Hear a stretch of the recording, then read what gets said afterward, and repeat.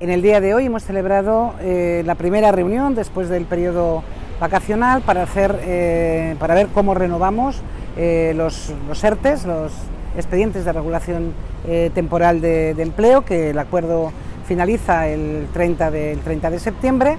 creo que ha habido una buena sintonía. En la, en la, reunión han participado también la ministra de Trabajo y el ministro de, de Seguridad Social y Comisiones Obreras ha planteado cuatro aspectos que son fundamentales.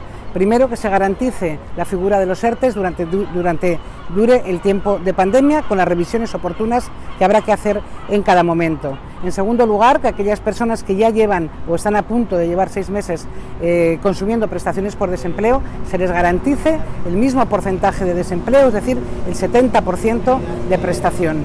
En tercer lugar, hay que abordar de forma específica la situación de los trabajadores y trabajadoras fijos discontinuos, porque es una situación específica y especial.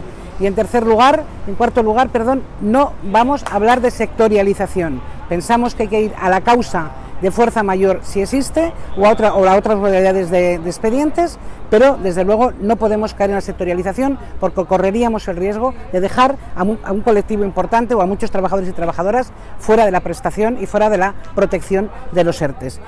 El día el lunes iniciamos las negociaciones y por lo tanto vamos a abordar todas estas cuestiones con el objetivo único que es que mantenimiento es el mantenimiento del empleo de todas las personas trabajadoras.